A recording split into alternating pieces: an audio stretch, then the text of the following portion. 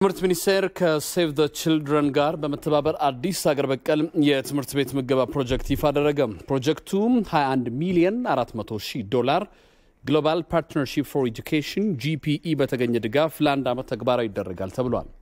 አካታች ሀገር በቀልና ለትምህርት እድገት ያግዛል የተባለ ፕሮጀክቱም ከ163 ሺህ በላይ መዋለ ህጻናትና የአንደኛ ደረጃ ተማሪዎችን ተጠቃሚ እንደሚያደርግ የ Save the Children በኢትዮጵያ አስተባባሪ ኤኬን ጉታጉላሬ ገልጸዋል።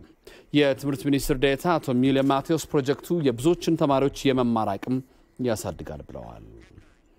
አካባቢ ላይ በድርቅ በሚጠቁ አካባቢዎች ላይ የሴቶች ትምህርትን ልዩ ፍላጎት ያላቸውን ተማሪዎች ጭምር ወደ ትምህርት ቤት ከማምጣትና ትምህርት ቤት ብቻ መምጣት ሳይሆን መጥቶም በብቃት መማር እንዲችሉ ከማድረግ አንጻር መጠነ ማቋረጥን፣ መድገምን፣ የትምህርት ብክነትን በአጠቃላይ የምንለውን ከመቀነስና የትምህርትን ጥራት ከማረጋገጥ አንጻር የትምህርት ቤት ምገባ በጣም ትልቅ ፋይዳ ነው ያለው።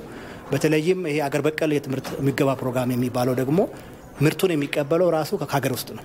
ከገበሬዎች ህብረት ስራ ማህበራት ነው ምርቱን የሚቀበለው። ስለዚህ ገበሬዎች ተጠቃሚ ነው የሚሆኑት ማለት ነው። የገበሬዎች ህብረት ስራ ማህበራት ተጠቃሚ ይሆናሉ። ከዚህ ጋር ተያይዞ ያው የገበሬ ልጅም የአርሶ አደር የአርብቶ አደር ልጅ የድሃ ከተማ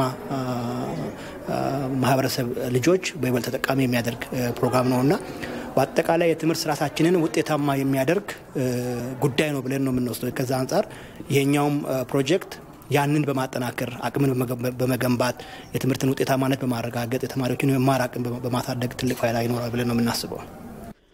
በአሁኑ ጊዜ በሀገሪቱ 1.4 ሚሊዮን የሚሆኑ ተማሪዎችም የትምህርት ቤት ምገባ ተጠቃሚ መሆናቸውን የገለጹት አቶ ሚሊዮን ፕሮግራሙ በሀገሪቱ እንዲቀጥል በማድረግ ፍትሐዊና ጥራት ያለው ትምህርት ስርዓትን ለማሳደግ ይሰራልም ብለዋል።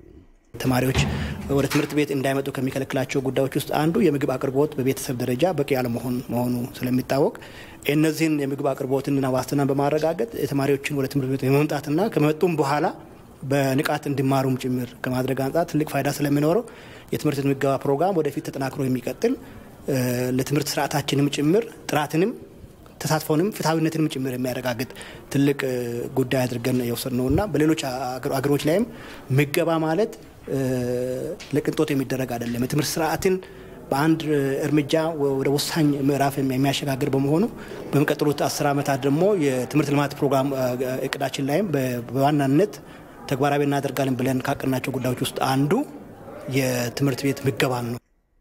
እንደ ሪፖርተራችን ዋለልኝ ታምር ዘገባ ሀገር በቀል የትምህርት ቤት ምገባ ፕሮጀክቱ ከፍተኛ ትምህርት መቋረጥ መጠንን በሚታይባቸው በአፋር፣ በአማራ፣ በኦሮሚያ፣ በሶማሌና በሶማሊያና በሲዳማ ክልሎች 499 ትምህርት ቤቶችን ያካትታል።